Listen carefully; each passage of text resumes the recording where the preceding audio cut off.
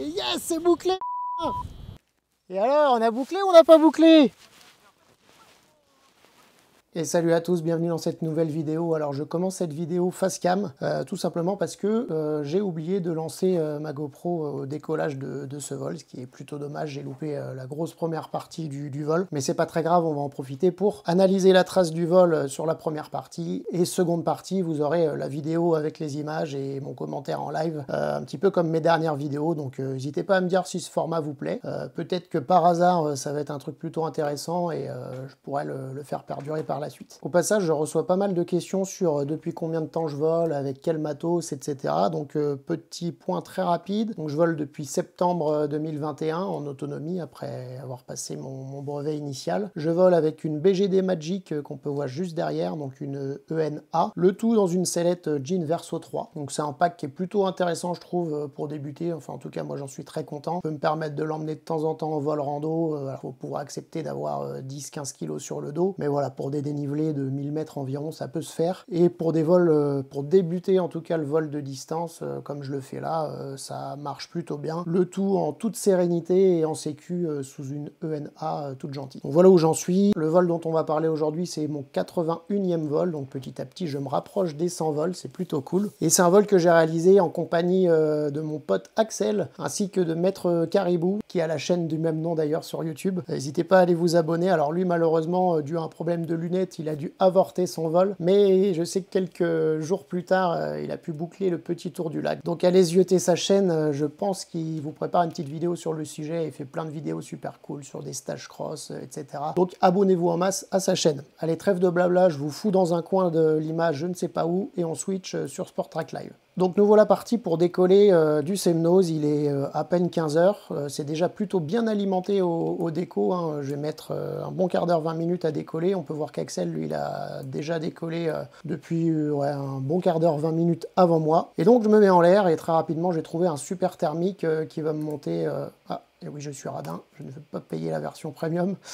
Ouais, qui va me monter euh, rapidement à 2000, 2500 euh, mètres et c'est là où je vais lancer ma transition en direction du Roc des Bœufs qu'on voit juste en face. Donc on avait deux plans de vol euh, prédéfinis. on s'est dit, bon, première chose, on s'extrait. Deuxième chose, on va au Roc des Bœufs et là on avise. On avait deux choix possibles. Soit on va plutôt au nord, direction La Forcla, le lac d'Annecy pour peut-être boucler un grand tour du lac. Ou alors plutôt vers le sud, en direction des Bauges. Et vous allez voir, vous avez pu voir dans le titre, que finalement on s'est orienté plutôt sur la deuxième solution. Alors Axel, lui, il m'a mis quand même pas mal d'avance euh, dans tout ça. Euh, on peut voir qu'il a fait un super thermique là qui va le monter à 2000, quasiment 2800 mètres. Et tout de suite, il se jette euh, en direction du roc des bœufs. Moi, pendant ce temps-là, je continue de monter tranquillement et je vais faire un plaf beaucoup plus modeste, un petit 2005. Heureusement, je quitte le thermique au bon moment. Ça va me remonter encore quelques centaines de mètres. J'ai plutôt bien plané sur la première partie de la transition.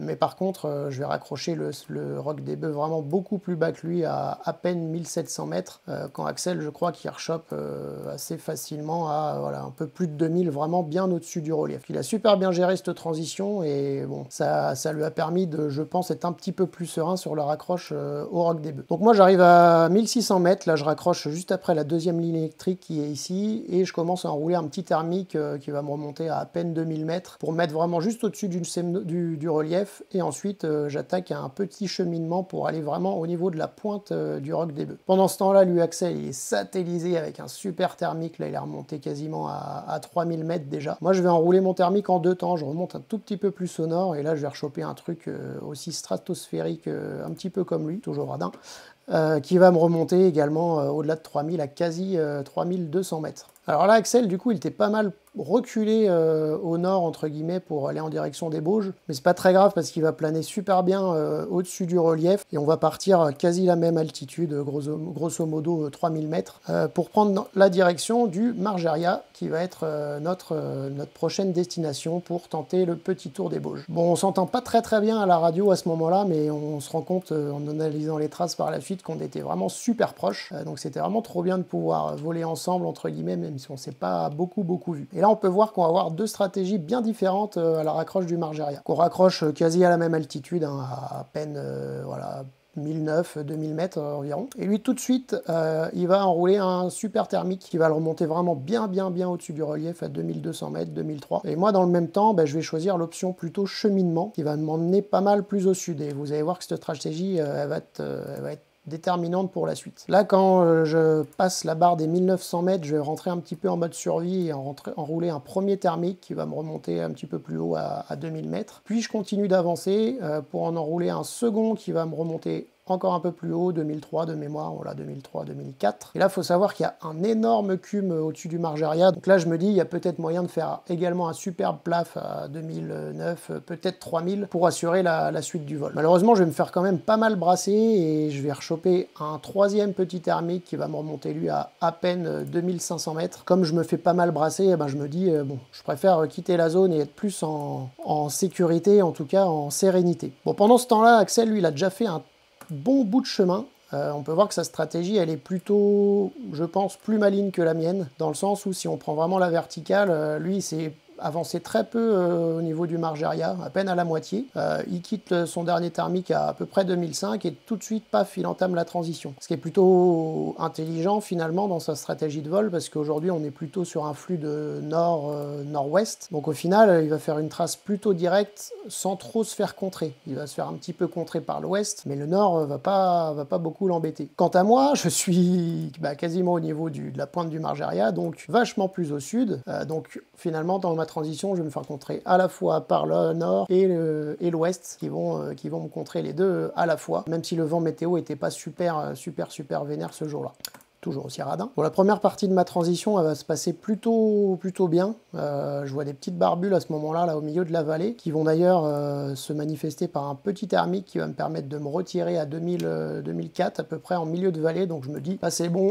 c'est gagné, la transition euh, s'est pliée et je, passe au niveau de la croix des bergers et du col de la cochette euh, assez facilement pour continuer mon vol. Mais, mais, mais, deuxième partie de la transition, et là ça va beaucoup moins bien se passer, je vais me faire, là voilà, à partir de là, je vais me faire vraiment plomber. Je vais buter dans, je sais pas si c'est la brise ou une brise qui remonte là au niveau du col et peut-être additionner au vent météo, et là je vais faire un gros gros caca culotte parce que à ce moment-là, il y a un mec qui est en dessous de moi qui vient de, qui vient de vacher à la Croix des Bergers. Euh, il est allé à 300-400 mètres euh, en dessous de moi simplement. Et je me dis, bah, mon destin est scellé, je vais faire exactement comme lui. Heureusement, arrivé à peu près à hauteur 1600, euh, ouais, 1600 mètres, je vais pouvoir euh, raccrocher un petit peu en dynamique. Bon, là, je vais buter, hein, j'avance vraiment, vraiment plus à grand chose, je suis à peut-être 20 à l'heure. Mais bon, au final, en insistant un petit peu, je finis par passer euh, au forceps ce col, alors le col de la Clusa ou de la Cochette, je sais pas exactement. Mais ça finit par reprendre en dynamique de l'autre côté du relief. là, on est au pied du revard. Donc je vais être un petit peu encore en mode survie pendant quelques minutes. Hein. On peut voir que je fais un gros point bas à 1400 mètres à peu près. Mais finalement, le dynamique va me, sauver et je vais réussir à me refaire euh, en direction du revard.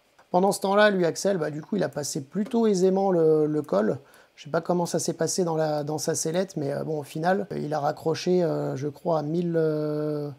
Ouais, 1400, 1400 mètres, un petit peu comme moi, mais très rapidement, il rechoppe, euh, je pense, du dynamique et ensuite un beau thermique là, qui va le remonter à 1007-1008 pour euh, entamer son cheminement pour lui en direction de Bange. Donc c'est à ce moment-là que nos chemins se séparent, on ne le sait pas encore, mais au final, on aura fait toute une, toute une partie du vol ensemble. Et donc moi, j'arrive en direction du Revard, donc là, c'est une zone que je connais pas du tout. Je suis à 25, euh, à peu près 25 bornes de la maison, mais bon, je me dis, j'ai passé le gros point bloquant, enfin pour moi ce que je considérais comme gros point bloquant, c'est-à-dire euh, le passage des Bauges, où euh, si je vachais là-bas, c'était à base de 3 heures de stop pour retrouver, euh, retrouver la maison. Et donc là, je me dis, bah, je suis ici, il y a des atterros officiels un petit peu de partout, entre guillemets, et surtout, même si je viens à vacher, je suis sur un axe vachement plus passant entre Chambéry et Annecy, qui pourront potentiellement me ramener à la maison plus facilement.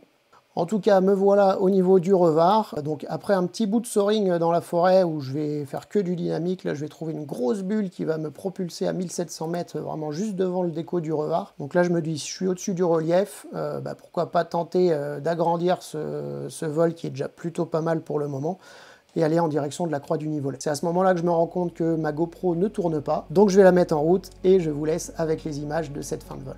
je me prends des belles tatanes là quand même de temps en temps. Ça avance plutôt pas mal en dynamique, mais ouais, c'est assez haché. On va voir ce que ça va donner pour le retour.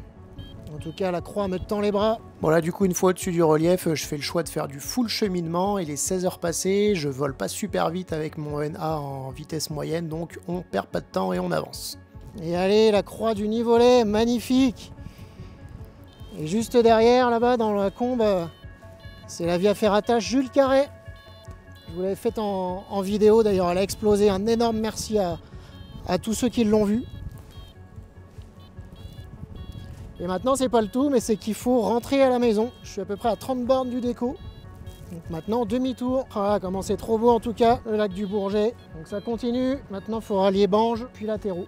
Bon, après le demi-tour, je vais me détendre un petit peu mentalement. Je me dis que je vais faire que me rapprocher de la maison. Par contre, la masse d'air euh, va être toujours un petit peu turbulente. Petit passage à vitesse réelle pour que vous vous en rendiez compte.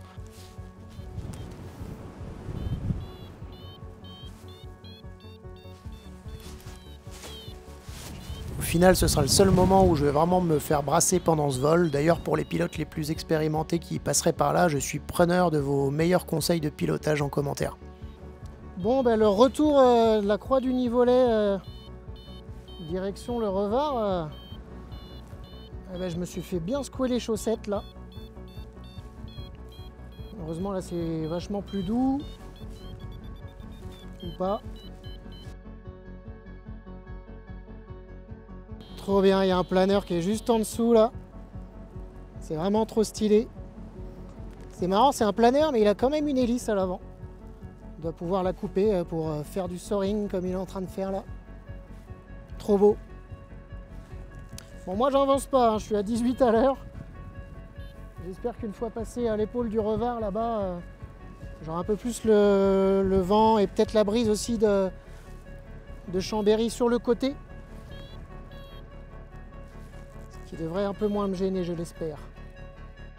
Et allez, ça chemine, ça chemine encore une fois. Bon, toujours à 18 à l'heure, là ça va un petit peu mieux. J'ai aussi euh, pu reprendre un peu d'altitude, là je suis remonté à 1007, donc euh, ça c'est cool. Je pense que je bute un peu moins dans la brise. Je pense que la grosse prochaine difficulté, ça va être l'épaule du revard.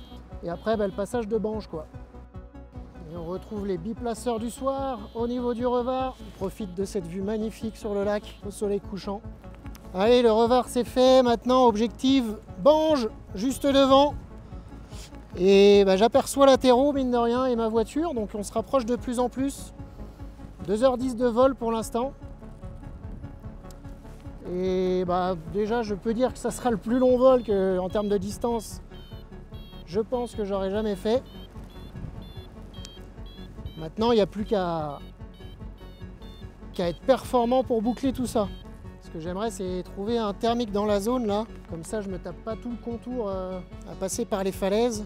J'essaye de raccrocher direct en face. Allez, c'est du petit plus 1, plus 2, mais bon, à cette heure-là, il va pas falloir faire le difficile. Alors par contre, je sais pas si c'est ici, mais je sais qu'il y a des bulles de quiétude pour les rapaces. Donc à éviter de trop près du relief. Donc là, je pense que je vais tirer euh, plutôt à ma gauche. Je sais que c'est sur les falaises, je ne sais pas si c'est les premières celles-ci ou un peu plus loin. On va pas aller les déranger, en tout cas ça porte bien, donc euh, voilà. Ça ça va pas remettre en question mon vol. Et quand bien même, eh ben, tant pis pour moi. On on va pas aller les faire chier pour le plaisir. Enfin pour mon propre plaisir en tout cas. Allez, on fait la course, mais il est en train de bien me la mettre, euh, le pilote qui est à ma gauche là. Et moi, je suis en train de me faire enterrer gentiment. Et ça, c'est pas cool du tout. Et allez, on fait la course avec son ombre. Elle a quelques longueurs d'avance, je vais pouvoir la choper On va y arriver, ça va boucler ce cross Bon là, au final, j'ai fait 2-3 tours, mais euh, je monte autant en cheminant qu'en roulant du thermique, donc je préfère avancer. Je sais pas si c'est la meilleure solution, mais bon, je me dis que si je tourne pour pas grand chose, autant que je m'avance en direction de mon objectif. Quoi. Par contre, si je trouve un truc à plus 2, bon là oui, je vais m'arrêter.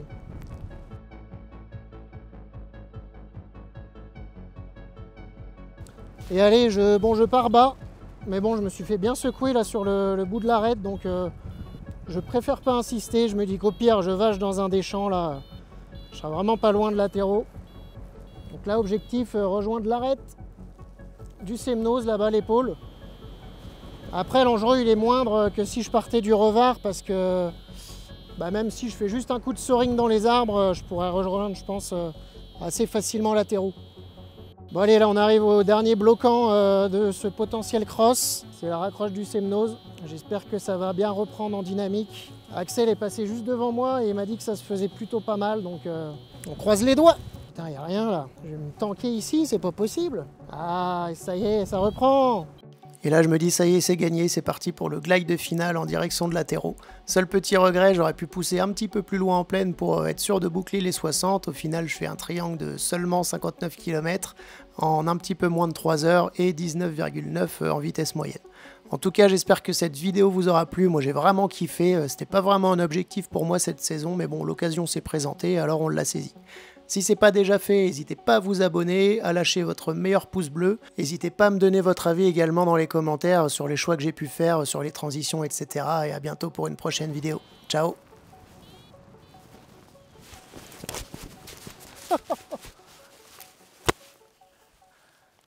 Et alors, on a bouclé ou on n'a pas bouclé?